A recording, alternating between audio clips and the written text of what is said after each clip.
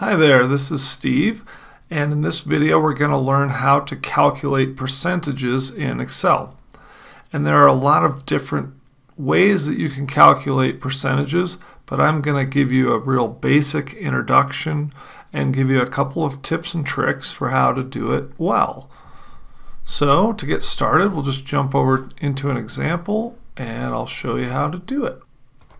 Okay, so in this example we have a few columns First we have our cost and we can assume this is the cost of an item. And real quick I might actually format that as dollars.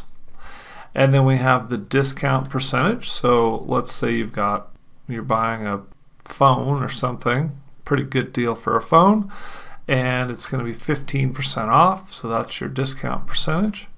Then we're going to calculate the discount amount and you can just do the math here in your head. You can see that 100 times 15% is $15. And we're going to do a formula for that. And then we're going to do a formula to calculate the final price. So we're going to take the total cost times the discount, and then we're going to subtract out the discount to get the final price. But before we get into that, I want to show you one little thing that's really important when you're using actual percentages in your formatting. And you'll notice if I click on this, it says 15% here and it says percentage in the formatting up here. Okay, but if I'm going to go down here and I'm going to type in 15 and hit enter, and then I go back into that cell and I format it as percentage. So I can just click here. Look what it does. It says 1500%, 1500%. So the moral of the story is you have to do it a different way. So let's delete that. You can either type in 15 and then actually type in a percentage, which is shift and the 5 key. Now when I hit enter, it's going to actually be in there. And Excel will see you do that and it will automatically format it as a percentage.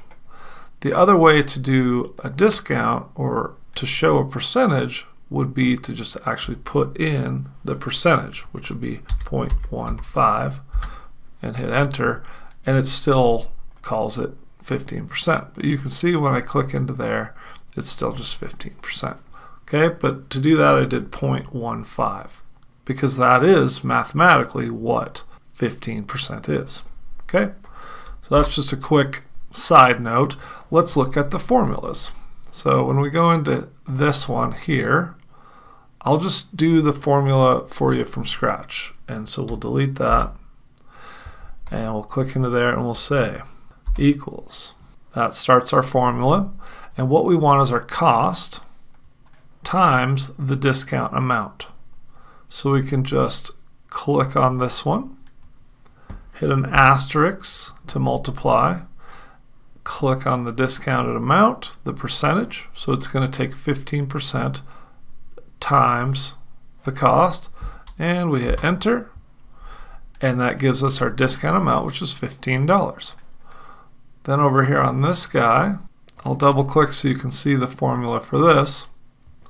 So what we're doing here is we're taking our original amount and we're subtracting out the discounted amount to get our final price.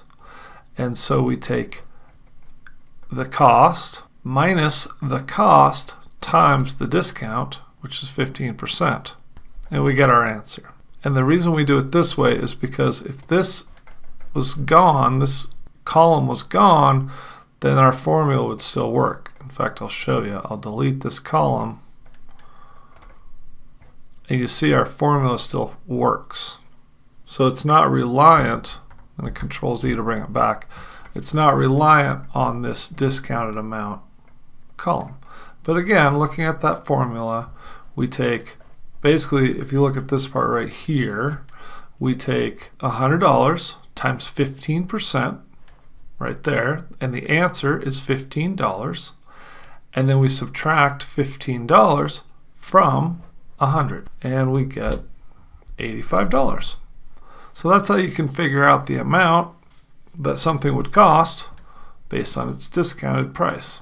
Hope that helps. Thanks for watching, and I'll see you hopefully in another video, or if you want to join one of my courses below, I'd love to see you in there. And you can check those out in the description. Thanks for watching.